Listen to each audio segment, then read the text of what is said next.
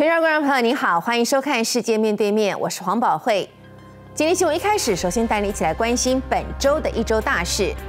台积电亚利桑那州新厂移机典礼吸引着美国总统拜登亲自到访，并且在董事长刘德英、总裁魏哲嘉的陪同之下参观厂区，成为国际关注的焦点。这是美国晶片本土制造的一大关键进展。另外一方面，中国前国家领导人江泽民的追悼会，习近平在致辞的时候罕见的提及了1989年的天安门学运。虽然他避开了关键字，但是语意间暗示强力控制，这也让白纸运动难以翻身。美国总统拜登抵达亚利桑那州凤凰城，来到台积电新代工厂。台积电董事长刘德英以及总裁魏哲嘉两人陪同拜登参观厂区，拜登出席首部机台移机典礼，庆祝台积电二十年来设立的第一座美国代工厂。Now the equipment is ready to move in. Next year, commercial operations are going to begin. And today, TSMC has announced a second major investment. Will construct a second fab here in Phoenix to build chips, three nano chips. 台积电在美设厂总投资金额从一百二十亿美元加码到四百亿美元，还要打造三纳米制程，是美国史上最大规模的外国直接投资案之一。The world's most valuable chip company, Taiwan Semiconductor, betting more chips U.S. growth. Taiwan Semiconductor Manufacturing Company. Taiwan Semiconductor Manufacturing Company. 拜登政府今年八月签署晶片法案，拨款两千八百亿美元发展半导体制造。不过，即使美国未来推出三纳米制程，专家依旧看好台湾先进制程的领导地位。习近平率领众多高层替江泽民送行。六号上午十点，在北京人民大会堂的追悼大会飘散浓浓政治味。和台湾同胞也都同我们一道，深切缅怀江泽民同志的丰功伟绩。想借致辞吃台湾豆腐，不止可能引起反效果，接下来这句话还狠狠打脸自己。他主动提出。不再担任中央领导职务，以利于促进党家高层领导新老交替。表面赞扬江泽民，但习近平却似乎想让自己成为焦点。在场送别的同志悲痛肃立。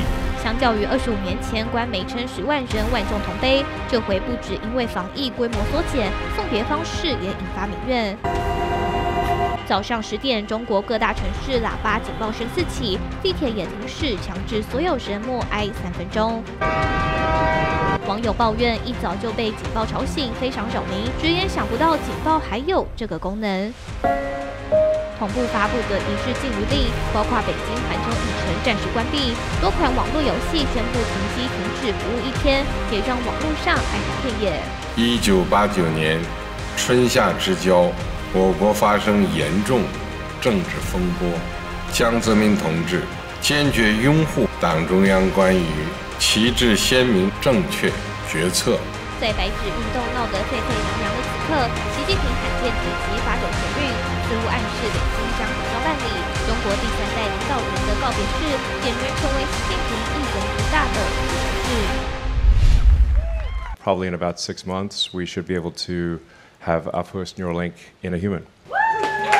十一月底才发下好语，旗下晶片公司争取人体实验。马斯克这番话说晚不到一个月，目标还没实现，麻烦先找上门。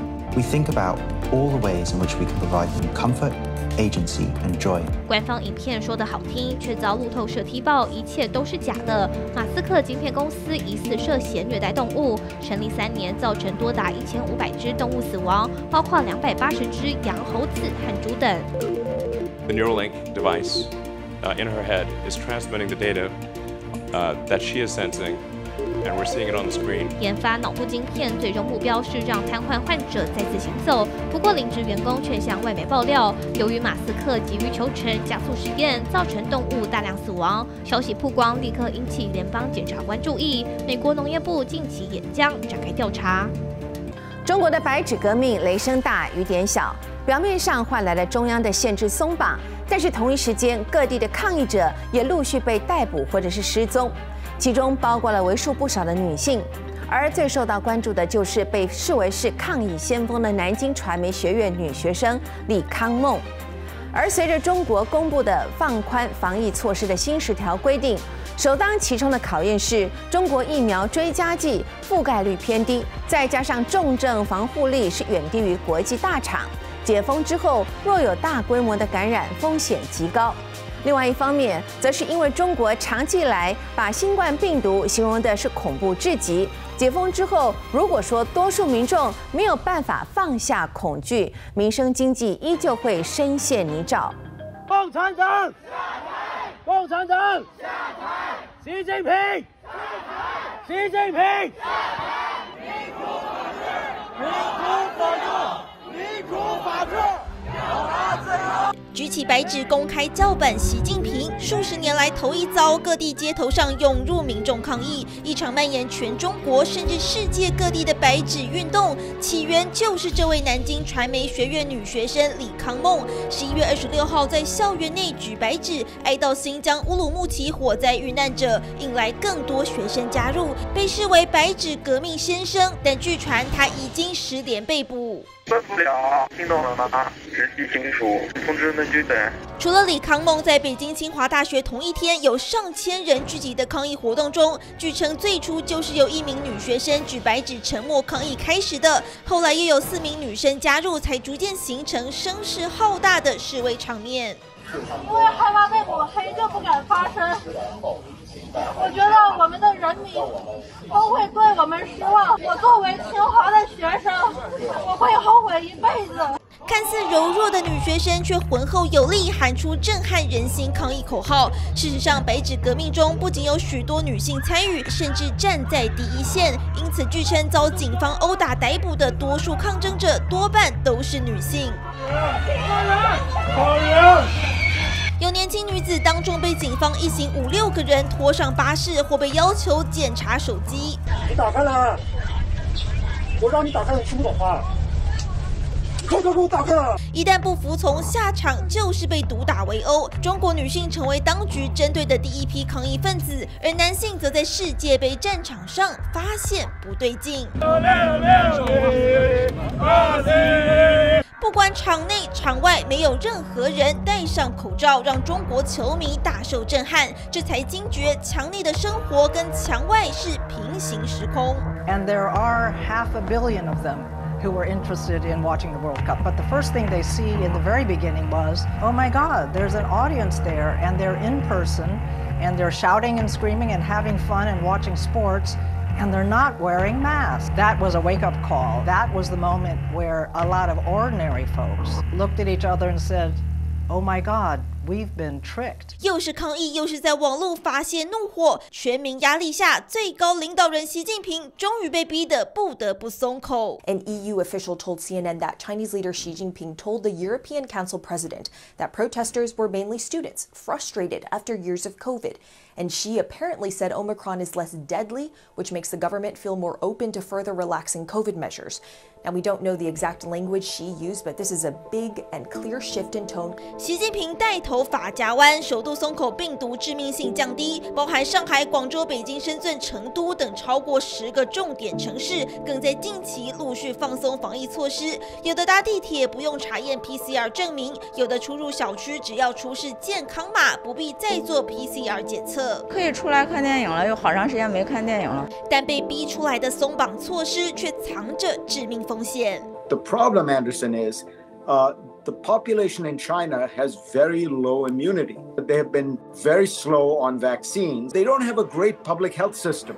I mean, to give you a, a, a contrast, Cuba has a better public health system, I think, than China does. Wow. And China is much richer. 重症病床仍然短缺，一旦真的全面解封，将难以抵挡传染性极强的病毒，造成重症或死亡人口。尤其上一次中国大规模接种疫苗是在春季，许多人距离上一次施打疫苗已经间隔八个月或更久，无疑会削弱免疫防御系统。You know, he's not sure, but the, the Chinese vaccine um, actually that effective in terms of uh, uh, even preventing severe real cases, the vaccines are much less effective in terms of preventing infection. So even though they have 90% of the population being vaccinated with two doses, most people, the uh, antibody level have dropped to a level that is very low or undetectable. 另外，中国当局迟迟不公布疫苗功效和副作用的数据，导致老年人口不愿意用生命承担接种风险。Most of the oldest haven't had a vaccine in a couple of years now. The hospitals aren't capable of dealing with a massive and unmitigated spread. 关键更在中国国产 mRNA 疫苗研究跟不上病毒突变。换句话说，中国根本没做好大解封准备，甚至在目前的逐步松绑阶段就衍生出成堆问题。Not systematic, somewhat shambolic. They're removing testing centers, COVID testing centers, in the middle of some of the cities. Yet the COVID testing booths um, in other parts of those same same cities are now having long, long lines. It seems what's happening at the moment is a reaction to try potentially to placate the anger. 领导当局也明白，任意解封恐怕会导致重症死亡率飙高的两难。另外，中国长期恐吓民众疫情的可怕，如今即使真要奔向松绑，可能也难以提振人民出门消费的意愿，经济将照样低迷。我感觉现在这边的客流人流量。都要比去年少了很多，有一些商铺也是。多重为难下，习近平看似还没拿定主意，但眼下的抗议浪潮近在眼前，怎么会被逼到这一地步？纽约时报分析是习近平自己常年过度打压私营企业，接着又收紧对社区媒体和大学的审查，导致人民生活全面受限。原本天差地远的上海、新疆，终于在一场大火中找到共同点，那就是被习近平专制打压。We're always on very specific local issues. Uh, food shortage or local corruption. This one is that in which people are talking more generally about Communist Party rule. Communist Party is so deeply entrenched, and she has further entrenched it. 限缩了专制下开放一定程度的经济发展和娱乐自由，反而让他作茧自缚。从中国开始的疫情始终无法归零，降低的却是共产党 统治基础。台积电美国亚利桑那厂移机典礼之前，重磅宣布将开始新建第二期工程，预计在二零二六年开始生产三纳米制程技术。两期工程砸约一点二兆新台币，完工之后将会合计年产超过六十万片晶圆。In the middle of nowhere, with only cactuses be surviving in the vast desert. Halfway across the world, TSMC, the rewarding semiconductor company in Taiwan, has now enlisted the state of Arizona to its enterprise territory. Unveiled by the SET News, the total area of TSMC's new plant in Arizona is more than 445 acres, which is more than half of the Hsinchu Science Park. In the layout of the whole site, the yellow one under construction is the Phase 1 5 nanometer plant. In 2024, after the construction is completed, the 4 nanometer process will be introduced. Regarding the Phase 2 3 nanometer plant, furthermore, SET News brings you the first-hand news that the concrete irons have been placed into the ground. Sooner or later, we will see it be under construction. And, confirmed by TSMC, 3 nanometer chips will be produced in 2026. The investment in the Phase 2 project is over 1.2 trillion Taiwanese dollars. 三纳米部分是我们现在台积电现在有一个计划，差不多敲定了是，啊，就是在同一个 Arizona 同一个。 The 3 nanometer process plan has already been included in the plan. At the same time, all facilities in the site have been unveiled to the public. The space behind the glass we could see right now is the administrative office. As we go further, the gray building is the sewage treatment plant. There is also a special central energy station, the CUP, where operational cooling and hot waters will be processed. All the procedures will be as same as the advanced processing plants in Taiwan, but it will be overly concerned if the US monopolies all advantages. As a matter of fact, the only reason for TSMC establishing new plants is to correspond its clients' needs. Nonetheless, both Liu De-in, the chairman, and Wei Zhejia, the president, have emphasized that TSMC will not leave Taiwan and will never cease to pursue legend of semiconductors. 疫苗厂莫德纳近期加深跟台湾的合作，不止在今年九月份在台湾设立了分公司，台湾还是莫德纳在亚洲唯一合作做 mRNA 流感疫苗临床试验的国家。预计明年三月份会开始有试验数据出炉。 日前，莫德纳的全球资深副总裁也首度来到台湾，特别向卫福部表达感谢。I wanted to express my gratitude and appreciation um, but also express our partnership of how we can continue working with the Ministry of Health to ensure that the people in, um, uh, in Taiwan are, are well protected with, with the vaccine. Expressing appreciation for the Ministry of Health as soon as arriving in Taiwan, the Moderna Global Senior Vice President, Patrick Berstedt, picked Taiwan as the first stop for his Asian trip since Moderna established a branch in Taiwan officially in September. At present, Taiwan has become the only country in Asia that cooperates with Moderna in an influenza vaccine clinical trial. 亚洲目前唯一的国家被选为莫德纳我们流感疫苗 mRNA 流感疫苗执行临床试验的一个呃唯一的一个国家，唯一的一个市场。预计在明年三月会有这个 data 的 readout。 Moderna is going to bring mRNA technology platform to the public and make all the efforts to have Taiwan enrolled in the multi-center clinical research project. Moreover, Moderna will also collaborate with eight medical centers on the trial and development of mRNA in Taiwan. But is it possible for the vaccine to be manufactured in Taiwan? I'm here in Taiwan, firstly, to meet with as many stakeholders as possible to understand how can Moderna make a contribution. 代工厂的话，后面这些生产相关的一个技术呢，啊，能够在台湾呢，啊，产生一种呃外溢的效果。直接有分公司的时候，未来莫德纳对于新的感染病有新的疫苗呢， 对台湾来讲的话呢，有更快的一个速度，可能会无缝接轨。Although we haven't been given a positive response from Moderna, only the partnership is secured. Domestic experts think that we have already made a giant leap. Despite what we said, it only took 40 some days for Moderna to develop the COVID 19 vaccine. It can only be considered to be a promising news to Taiwanese people, and we are even seeing that we will be at the first hand on the future vaccine.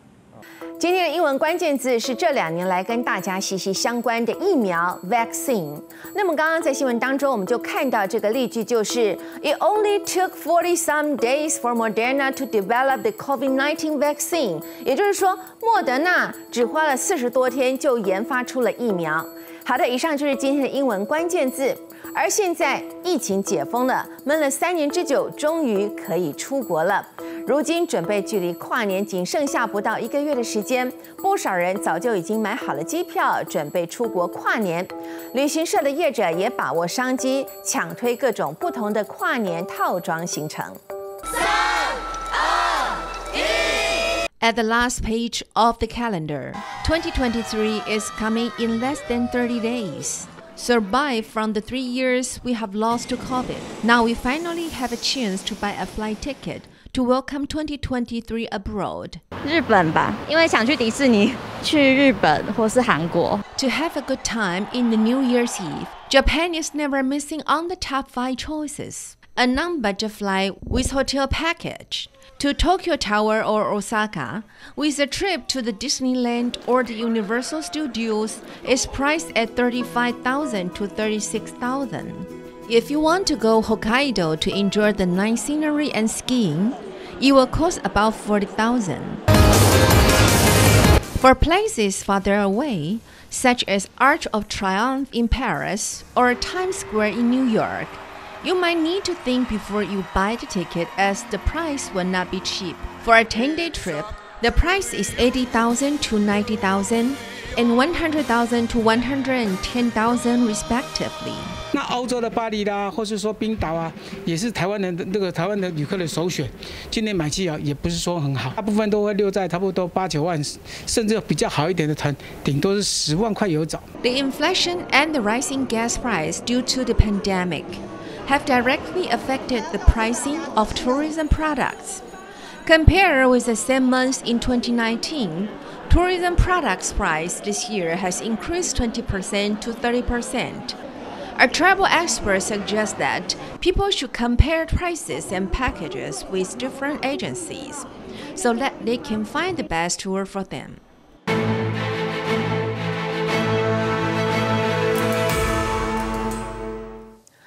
二零二二年再过不久，马上就要结束了。 回顾这一整年的财经环境变化，比起坐云霄飞车还要刺激。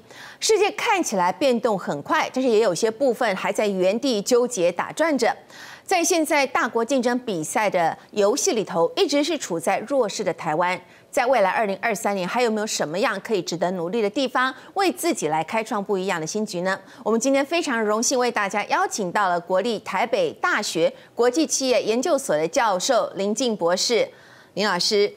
欢迎您。好。但是我首先还是要先介绍一下我们的这个林静博士啊，他现在是在台北国际大学啊、担任教授。那林博士他其实是巴黎第一大学的博士，国际的博士，然后在过去曾经担任过呃台寿保投信的董事长、台英证的董事长，还有台研公司的董事长啊，所以在业界。在学界都有非常资深的这样的一个很丰富的一个经历啊。那么首先我们就要来开始问一下林教授，我们来看现在已经纠缠了四年的美中对抗，可以说把全球的这个贸易的体系弄得非常的紧张。那么在今年接连几场的大戏，就像是在十一月的这个如联合国的这个气候峰会 COP27，还有呢 G20 的峰会。还有呢，亚太经济合作会议 APEC 都刚刚啊纷纷的落幕了。那么，教授，您怎么看待未来接下来二零二三年的地缘政治发展跟整对全球世界经济的影响呢？是宝辉刚刚问到一个非常重要问题，而也是明年哈金融界非常关注的，就是二零二三年哈啊这个政治发展对世界经济的影响。是。那我们可以看到，现在世界大概就是用三角战略来看，嗯，欧盟想要扮演一定的角色。是。那欧盟里面是马克宏，嗯哼，那还有德国，是啊。那所以你看德国往中中国走，是？所以这个趋势可以看出来说，中国的重要性逐渐哈、是这个欧盟不可哦这一个抹灭的一个重要角色。是是。那所以我们慢慢看，就是很多企业界都认为这是二元论，嗯哼，也就是他们本来是布局在中国，但是后来发现。啊，美国现在给中国这么大的一个压力，是。从早期的贸易战是。到啊这个科技战，到目前对半导体的管制，嗯哼。以致他们的订单必须要 面对这个压力，嗯分别两个地方出货，是嗯。所以就变成他们将来的运作在国际企业管理里面那个 location strategy 不得不它就要二元论，是，所以你也可以看到去年，包括未来一年会大量的这个在中国的投资，台商会移到哦所谓 RCEP 里面的一些会员国，嗯是是是，然后里面我们可以看到比较明显的流动是到越南。还有泰国。但是很可惜，在 RCEP 里面，在这个印度啊，现在已经宣布退出了。是嗯。哦，所以我们也可以看到，在 RCEP 这个成立的这个过程里面，美国似乎在里里面有做一些动作，让整个组成不会那么顺利。顺利哈，那我个人是在这个巴黎地大学念书的时候，刚好恭逢其盛，看到这个欧盟整合的时候，其实有很多路径必须克服。是，比如说我们念书的时候，马斯垂克条约那时候刚开始，嗯。所以它除了这个货物的流通嗯。是免关税，嗯。将来是人员的流动，它必须没有障碍，就是免签证。嗯。然后后来连资金的流动嗯。都没有管制。嗯。那这个事情对中国的人民币的国际化或自由化嗯。会有很大的冲击。嗯。但是二零二三年，我认为一个比较大的黑天鹅，应该还是会在美中之间。啊啊的摩擦是。哦，因为中国的崛起让美国有非常大的一个压力。是，那我看的是法文报纸，那法国人对这样的趋势，嗯。他们认为美中冲突在所难免啊，所以这一个法国还有欧盟，他们在里面从中得利，就是三角战略。对的。三角战略如果两方美中他们有冲突，那站在上面这个欧盟，他们就想要说他跟中国友好一点，那中国就会跟。这个法国为首的空中巴士集团购买那个 AIA 一百的客机，是那相形之下，波音七四机的客机的订单就大量的减少。那你也看可以看到德国的总理飞奔到习近平。哦，习大大的阵营，然后去跟他洽谈一些商业合作，嗯，那可以确保德国的车辆、机械，还有等等的产业可以顺利在中国哦继续成长。所以这两个阵营的冲突是我们必须要观察明年的黑天鹅。是教授，您刚刚就提到了 S 啊，那这个 RCEP，那这个可以来说，我们回顾整个二零二年、二零二二年全球最重要的经济大事。当然，就是您刚刚讲到这个区域全面经济伙伴关系协定，就是您讲的 RCEP，它正式上路。可是这一年来哦，它这个是却发生了很多的事情。而且一上路，疫情还在，然后呢，俄乌战争又开始，那美中持续的对抗又升温，再加上现在强势的美元，可以说是干扰了整个全球经济等等因素之下，哎，RCEP 就这样子慌乱的登场。那您觉得总体来说，RCEP 这一年表现如何？哦，这个进度让我们感觉跟欧盟整合比起来，它速度是缓慢了许多。是，嗯好，就是你可以看到中途这个非常重要的印度退出，对，哦，然后再来就是说，本来它可以有很好的这个贸易创造效果，是，但是因为俄乌大战出现，很多原料哈。飞涨，嗯哼哼所以变成就是很多传统产业还有台商国际化的速度就减缓。嗯，本来在区域整合，你可以看是过去的统计资料，区域整合的初期，它会有很多区域内的合资或策略联盟的案件。嗯。可是我们看到 RCEP 这一个推动到现在，整个合资还有策略联盟的金额没有像欧盟整合初期那么高。是，啊，那所以我们也在观察说，在这里面是不是说 RCEP 的推动，它的强度会更强？嗯哼，好，那里面会有一个情况，就是人民币嗯的国际化。对，因为事实上你可以看到哈，RCEP 之前是一带一路，一对带一路它是中欧班列出去，然后把中国生产过剩的产品运到欧洲，嗯。回来的时候它会工业四点零，它就自动回补订单，把中国需要的原料载回去。嗯。那这个模式看来是不错，嗯。那也造就了很多厂商进驻到中欧班列嗯的一些国家。嗯。但是相反的，在 RCEP 里面，它如果没有一些支持性的作为，它的成长的幅度没有那么快的时候，嗯在国际的这种动荡的情况之下，厂商显得相当的就是迟疑，到底要加入 engage or not engage？嗯。所以我在观察是，其实啊、呃在这个不景气当中，大家减缓了投资，嗯。降低了需求，嗯。所以会用一些国际企业管理的一些实务的模式去应用，比如说，他可能就是说，哦，在某一地接货，然后在某一地出货，而不大举进进入投资，嗯。这一个就是 RCEP 国家，嗯那这一个部分就跟欧盟整合的初期不一样。是，欧盟整合初期，你可以看到日本的 Honda 跑到英国去设厂。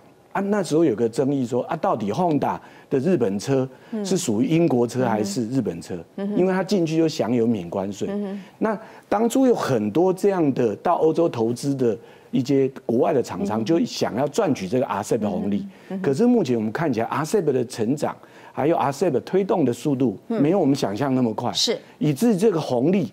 到目前还没有大举吸引台商进驻，是。那你可以看到金融市场也没有因为这个议题有明显的变化，嗯哼哼所以这才是我觉得值得观察，未来一年会不会有更明显的变化？好，您讲到台商，我们现在就来讲台湾的角色。是那台湾当然就是推动整个世界经济运转中非常重要的一环，但是好就被这个 RCEP。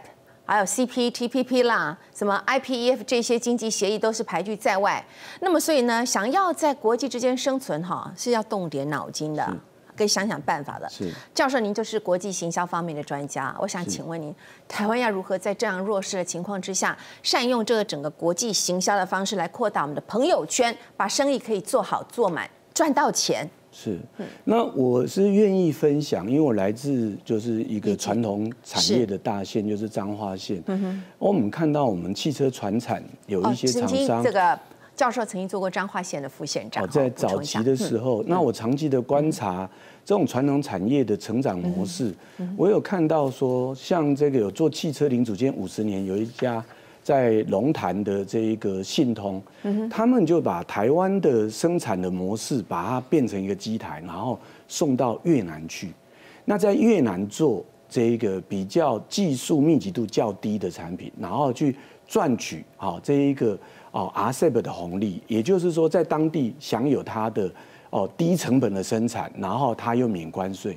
那目前看来这个模式是成功的。是。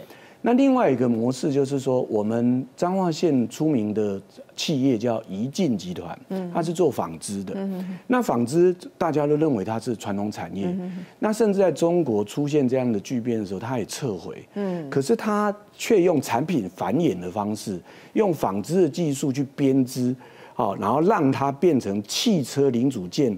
我们以前的像有一些塑胶管，嗯，那这些塑胶管碰到高热或是静电，嗯。然后它可能就会脆化，大家都换过这种这个塑胶的耗材，可是当它用编织的方式的时候，它抗静电、耐高温，嗯，哦，又抗衰、抗那个酸碱，嗯，那用这样的产品繁衍，然后增加技术，嗯，哦的含金量，嗯的方式去克服，哦，没有外移，哦，必须要哈，就是说多。啊，对，补贴这些关税的这一个一个价差，是，然后来提升自己的竞争力。是，我想很多在船产里面的这些隐形冠军，哦，正坐落在我们台湾的各个角落，所以并不忧心。这个看到现在亚洲经济虽然是受到这个强势美元的影响。但是东协十国的表现还是可圈可点的哈。那从分散地缘政治风险跟我们的政府新南向策略的角度来看，教授，您认为台湾厂商该如何前进东协打国际杯？是，我想这一个主持人问到非常专业问题哦，这也是我们国际企业管理的课程里面最核心的部分，就是国际市场进入策略。嗯，那进入策略，如果日本厂商的模式，它是会横租。这一个环境风险，嗯，跟它本身的实力，嗯，那这动态实化的分析里面，你可以看到日本的综合商社，它对不同的国家有不同的市场进入策略，嗯，比如说它是风险高的国家，初期它是会用低策略的方式，嗯比如说它它可能可以用哦技术授权或是代工的方式，是是，但是对于哦市场机会到高的啊一些国家，它可能就是用哦 majority joint venture，就是。多数合资的方式，那我们台湾是一个很独特的地方。台湾我在法国上课，我法国教授跟我讲说：“你们台湾是一个全世界少有同时可以讲日文跟英文的一个地区。”这是我我非常印象深刻。已经过了三四十年，我还记得法国教授是怎么样称许我们台湾具有这样独特的优势，所以我们可以跟哦这个日本。的企业合资，我们也可以跟美国的企业合作。那我们这样可以变成一个复合性的进入策略。那合资的话，我想我们可以看到日本跟我们有太多合资的经历，是共同去哦打这个世界杯。那日本、中国还有韩国这三大是 RCEP 里面最重要的会员国。嗯，那我们看到的学术的研究，嗯，也说中国、韩国跟日本会是这。啊，这个会员国里面创造出 GDP 成长效果最显著的三个国家，嗯嗯所以我优先推荐我们可以跟日商或是美商进行更深入的啊合作。嗯，好。那么现在有媒体评论，今年受到美国众议院议长佩洛西访台的影响，拉高了整个地缘政治的风险，所以不少台湾的厂商也开始移到越南去设厂。那么而且因此呢，越南现在也是 RCEP 的这个成员国之一。那么越南当地就有业者对外表示。未来二零二三年呢，它不只是电子业，就连台湾的船产业到越南设厂的比例也会大增。那么从国际行销的角度来看，教授你怎么看待这次呃为越南带来的契机？